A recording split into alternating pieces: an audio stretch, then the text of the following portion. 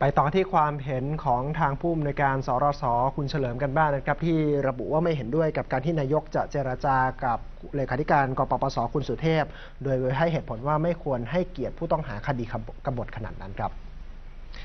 ร้อยตำรวจเอกเฉลิมยศบำรุงรักษาการรัฐมนตรีว่าการกระทรวงแรงงานในฐานะผู้อำนวยการศูนย์รักษาความสงบหรือสรสเปิดเผยว่าการที่นายสุเทพเทือกสุบรรณเลขาธิการกปปสต้องการพบและเจรจา เพื่อหาทางออกทางการเมืองกับนางสาวยิ่งลักษณ์ชินวัตรรักษาการนายกรัฐมนตรีรัฐมนตรีว่าการกระทรวงกลาโหม โดยส่วนตัวแล้วมองว่านายกไม่ควรให้เกียรตินายสุเทพเนื่องจากนายสุเทพเป็นผู้ต้องหาตามหมายจับคดีกบฏและคดีอื่นอีกหลายคดี แต่หากนายกรัฐมนตรีตัดสินใจอย่างไรก็ถือเป็นดุลยพินิษส่วนตัว และต้องเคารพในการตัดสินใจของนายกและในฐานะที่ตนเป็นผู้ในวยการสรสได้มอบนโยบายให้ส่วนราชการที่ถูกกลุ่มผู้ชุมนุมปิดล้อม รวบรวมพยานหลักฐานดำเนินการฟ้องร้องเอาผิดทั้งทางแพ่งและอาญาต่อไป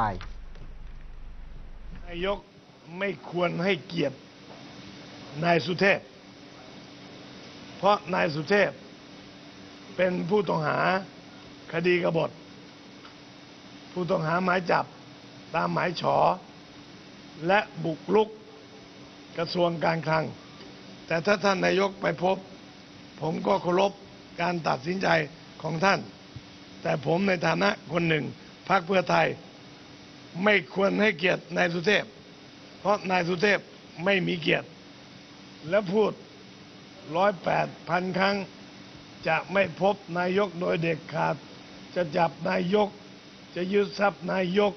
จะในประเทศนายก จะในประเทศทั้งตระกูล เทพไม่มีทางไปใช่ไหม ถึงกลับมาทางนี้ เสียเหลี่ยม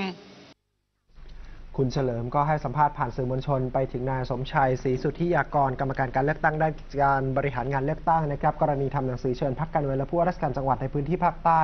รวมทั้งหน่วยงานด้านความมั่นคง หารือถึงสถานการณ์การจัดการเลือกตั้งในพื้นที่ภาคใต้ ว่าขอให้นายสมชัยอย่าทำเกินหน้าที่และอย่าสร้างความขัดแย้งให้กับสังคม เนื่องจากกรณีดังกล่าวไม่สามารถทำได้ เพราะเกรงว่าจะยิ่งทำให้เกิดความขัดแย้งครับ